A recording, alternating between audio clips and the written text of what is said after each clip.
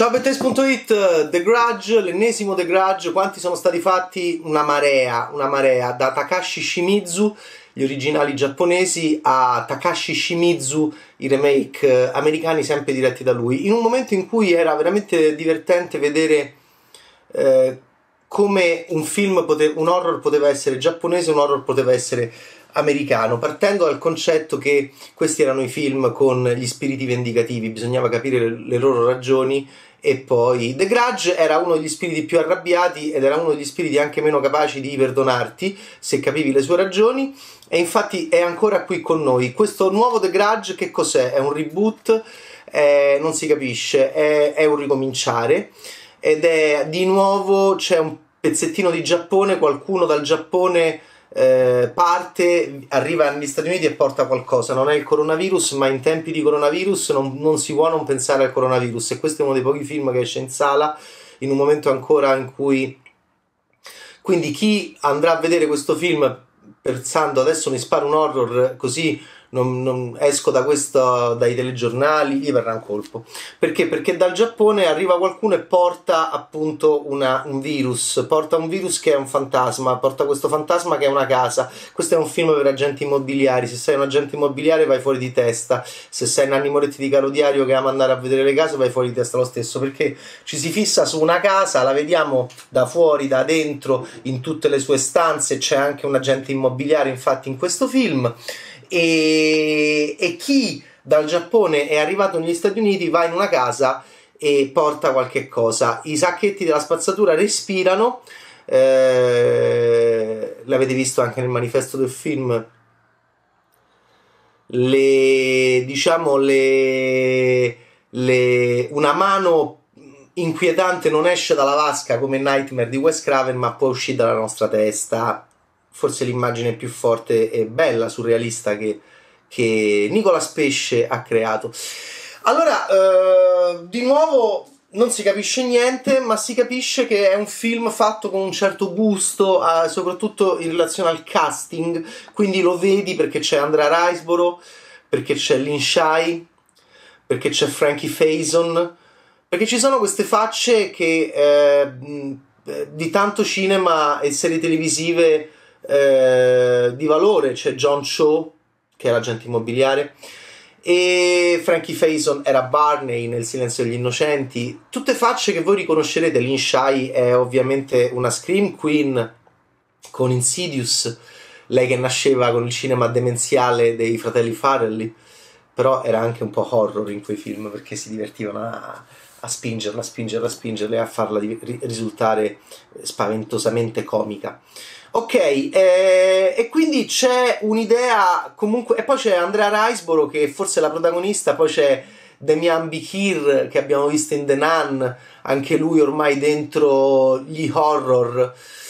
Quindi sono tutte facce de- di questo genere e, mo- e molti di loro avranno a che fare con questa casa, ok? La casa in una suburbia eh, americana con strade dove non passa mai nessuno, il parcheggio è facile da trovare eh, siamo in una suburbia e c'è, c'è, questa villa, non è nemmeno una villetta schiera, è una villa isolata, però non troppo grande, come queste che vediamo in tanti film americani, si parcheggia, poi ci sono 30 metri di, di, di, praticello e arrivi alla casa. Lindlon è un film in cui si suona spesso al campanello, si bussa e abbiamo visto questa signora dal Giappone arrivare negli Stati Uniti d'America e poi con dei piani temporali sfalsati si va avanti e indietro nel tempo Scopriremo perché, uno, perché c'è un cadavere carbonizzato, da dove viene e, e scopriremo chi è stato in questa casa, eh, quante persone si sono mm, date il cambio.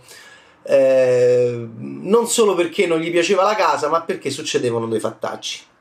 Alla fine sono 90 minuti e, mm, e riesci anche a vederlo, anche se non è niente di eccezionale e mm, anche, le, anche le, i momenti shock, i momenti di paura sono molto molto prevedibili. Eh, però eh, Andrea Riseborough è un'attrice meravigliosa, quindi è difficile non staccarle gli occhi di dosso e, e, e, vai avanti nel tempo, nel tempo del film e di spaventuccio e spaventuccio eh, potresti arrivare alla fine anche abbastanza incolume. È un film mh, mm, dove c'è un cane, eh, ma, non, eh, ma, non, ma, non, è, è, indimenticabile, anzi è molto dimenticabile. Si poteva dare più spazio al cane, eh? Frank the Dog, interpretato da due cani, Bruno the Dog e Duke. Va bene. Poi c'è, mm, c'è, ci sono tante battute, ma perché non vai a casa da tuo figlio? Ma perché non vai a casa da tua moglie? Ehm, quindi ci sono tante battute di persone che dicono non dovresti stare in questa casa, vai in un'altra casa. E poi è un film dove gli agenti immobiliari vanno fuori di testa perché appunto perché guardate questo salotto, guardate mm, quanto è luminosa questa, uh, questa cucina e, mh, e, e, poi si può anche è un film di case effettivamente dove possiamo scegliere, possiamo capire dove preferiremmo andare a vivere. Ci sono belle inquadrature delle case, Nicolas. Eh, Nicolas Pesce, hai fatto un film di case. Eh, poi basta, non succede praticamente più nient'altro. Eh, c'è, c'è, anche Jackie Weaver, sì, c'è anche Jackie Weaver con la sua vocina così. Ecco, sarebbe stato più bello vedere Lin Shai e Jackie Weaver prendersi ammazzate oppure fare un dialogo Jackie Weaver con la vocina così e Lin Shai che ha la voce un po' più così. Eh, sarebbe stato bello vedere queste due signore confrontarsi, ma eh, accade, accade proprio per pochissimi secondi e non è l'obiettivo di Nicola Pesce. Oh, il film è costato relativamente poco e l'ennesimo degraggio non è nemmeno più da capire dove siamo arrivati perché ne hanno fatti tre in lingua inglese, ne hanno fatti tanti anche in Giappone. Eh, Takashi Shimizu andava di qua, andava di là. Nicola Pesce a 30 anni, 30 anni, 30 anni, 30 e eh, non 32, 33, a 30 anni ha fatto già tre film. Viene dal cinema indie, è bellissimo vedere eh, la crescita di un regista che loro fomentano, premiano, gli danno i soldi e, però è un po' come Underwater di William Eubank, però ehm, lì lui veniva dal cinema indie, aveva fatto delle cose bellissime, William si è un po', è un po', è, si è un po sfrantecato con quel um, thriller horror adventure sotto il mare. Questi film costano di meno, questo eh, è stato tra i 10 e i 15 milioni di dollari di budget, Nicolas Capira era felice come un pesce perché Nicolas Pesce questo budget non ce l'ha mai avuto. E il film complessivamente ha fatto poco, eh, fino a questo momento, ma magari l'Italia non penso, soprattutto in questo periodo.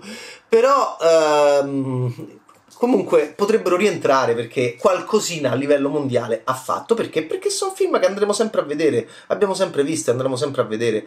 E, e non, è, non, escludo assolutamente che dopo The Eyes of My Mother e Piercing, questo è il primo film un po' ad alto budget di Nicholas, questo è uno che al quinto sesto film lo possiamo trovare in dei posti interessanti. D'altronde è stato già presentato al Sundance, è andato già a Sitges, quindi e, e, ed è una grande invidia per me come critico italiano che non ha l'horror nel suo paese, non ha registi horror non ha regi- e non ha scuola horror e non ha voglia di horror, nei produttori soprattutto perché tra il pubblico c'è, perché questi film se no non verrebbero distribuiti in Italia.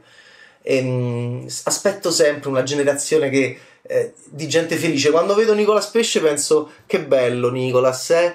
che fa questi horror, ha cominciato con gli horror piccoli come Sam Raimi e poi ha, che ha a che fare con The Grudge in chiave di produttore e poi è andata avanti e, e, e, cresce e a soli 30 anni ha fatto già tre film. Gli unici che stanno seguendo, gli unici che in Italia hanno questa energia e li sento che fanno un film dopo l'altro e sono ancora giovani sono i fratelli Fabio e Damiano Di Innocenzo che hanno 31 anni e hanno già il secondo lungometraggio e che lungometraggio, miglior sceneggiatura a Berlino. E allora lavoriamo anche noi per, eh, per far lavorare sempre di più cineasti giovani, non possiamo farli arrivare a cominciare il loro primo film a 40 anni, devono cominciare a fare il loro primo film a 27, 28 anni, ovviamente non soli, appoggiati da produttori filmmaker che li proteggano, li stimolino e gli facciano compagnia, magari della loro età. Io sono convinto che prima di morire vedrò questo anche in Italia e con Fabio e Damiano lo sto cominciando a vedere. The Grudge di Nicola Pesce non è niente di eccezionale, non fa particolarmente paura, non si capisce quasi niente, il cane anche non funziona, ma il pesce, secondo me, può, può fare delle grandi evoluzioni prossimo, nei prossimi anni. Quindi, eh, e il film, tutto sommato, per noi appassionati di horror, si lascia anche abbastanza vedere. The Grudge di Nicolas Pesce. Ciao Bettaste, subscribe, bi pesce, ma soprattutto bi horror in una chiave di sistema e be bad. Ciao!